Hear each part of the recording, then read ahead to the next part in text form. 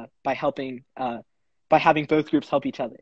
Absolutely, and I think we're so busy right now, right? In terms of just keeping up, there's so many guidelines changing. Yeah. Uh, you know, uh, and you know, fortunately and unfortunately, that you know, fortunately that we're still operating our business. Unfortunately, that you know, it's so unclear what the future holds that uh, we just don't have the capacity to arrange these type of uh, programs. And thanks to you, we're able to do this. So, um, you know, what impressed me the most is you're not just settling at where you live locally, but you're doing this statewide. So, how many states have you been uh, bringing food to, and how did you get started you know, how did you reach out to people and uh, how are you doing this? How, how are you doing, you know, coordinating so many states all at the same time? Yeah, so uh, basically, uh, by the end of this week, uh, I'll have hit my 1500th meal. And so that's at uh, 30 different hospitals across 16 states. And uh, next, I'm in touch with a couple other hospitals. So hopefully next week it'll add a couple more states to that list. But basically, what I've been doing is looking at uh, all the data. There's so much data out there, so I've just been looking at that initially. Like the, for example, the Johns Hopkins uh, Coronavirus Resource Center has a lot of really detailed um, information about uh, different states and everything. So I've been using that to sort of figure out which areas need the most help and where like where I should target. Yeah. Um, and then I started uh, finding out which hospitals, just reading about the news in those areas, figuring out which hospitals were like the most overburdened and were dealing with the most cases and so I would reach out to those hospitals, and then I would try and find uh, like popular local restaurants in those areas, like uh, such as like Cilantro. Um, and so I sort of just reached out, uh, and I've been lucky to find a lot of people like you who are really uh, selfless and like happy to work with me. And so from that, from there, uh, it's basically just been uh, working on the logistics and um, setting up the deliveries. Yeah. if you were to have a goal for this program. I, I know that you know it started small, right? Just yeah. like my business, I started from a food truck, and and I know that you're a little familiar with my business because I was on Shark Tank. You watched yeah, me on Shark really cool. Tank, and and you're familiar with me a little bit. Uh, what is your goal for this program? Yeah, so I guess it's kind of hard because like when I first started, I like didn't know it would get this big. So from this point, I, it's also kind of difficult to project um, how far we're going to go. But as long as I have the funds and as long as there's a need for this, um, I'm going to try and keep going. And uh, I really love doing this, and it's great to work with people like you.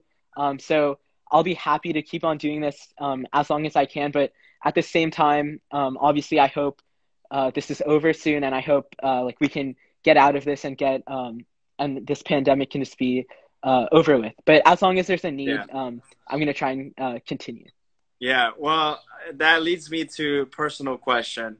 I remember when I was 17 years old, I didn't have uh, the guts or the vision like you.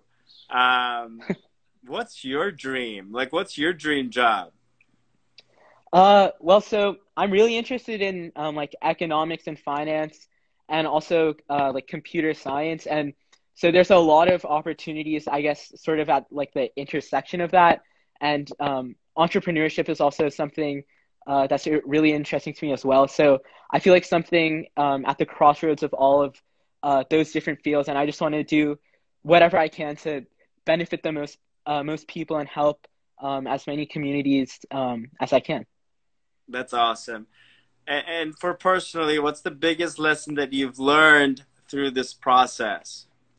Yeah, so I guess um, it's just been really great to see how uh, everyone I've worked with is really not only resilient but also really selfless and altruistic, and it's uh, honestly been kind of surprising to see like how much um, like how willing people are to work with me, even though I'm just like a high schooler, and they're helping me make a difference um, by uh, being so like supportive and so nice and really helpful, and that's that goes for everyone. That's like um, our donors, our uh, the, all the restaurants we've worked with, um, and then uh, a lot of like the uh, administrative staff at the hospitals, and then of course um, the healthcare staff as well who are working on the front lines.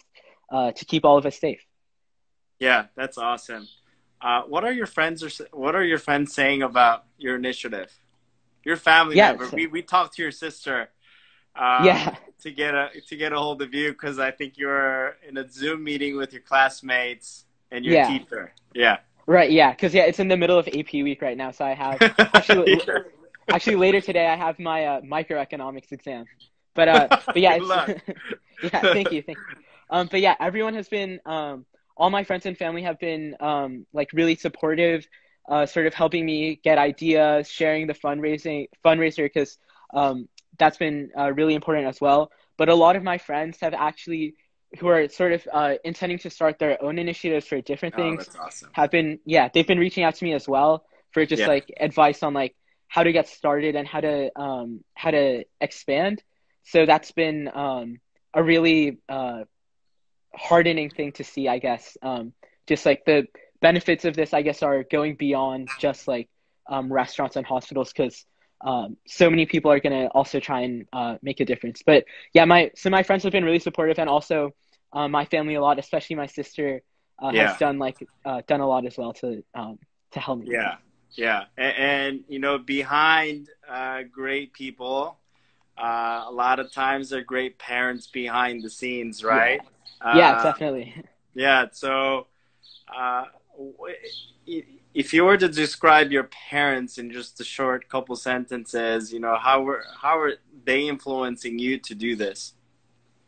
Yeah, I guess um, the biggest thing is that like ever since I've been really little, um, like charity and philanthropy has been like a really big part, like a, something really important that they've like instilled with me. So like, uh, especially in the holidays, like we always do we always sort of like organize like toy drives or food drives and we always like bake a lot of cookies and stuff to donate to the um, homeless shelter or like to the uh, hospitals. And so that's something we've always it's sort of like a tradition and something we've um, always always done. So i guess that was like one of the biggest motivating factors because they've really um, helped instill instill in me the idea that like uh, if you have the means and the skills to help other people, you uh, always should. So that's yeah. Um, I guess that's been like the biggest influence, but also a lot. Um, like I've learned a lot um, through like through working on this. Um, but so especially at the beginning, like when I didn't like really had no idea how to go about this, um, they guided me a lot with that as well. Man, that's awesome, man. It's so good to hear. Um, any last words? Uh, share um, I uh, guess your Instagram feed. Share us with your Instagram feed. Wh- why we should follow you, and uh, any last words for for us? Yeah, I guess. Uh, uh, I guess.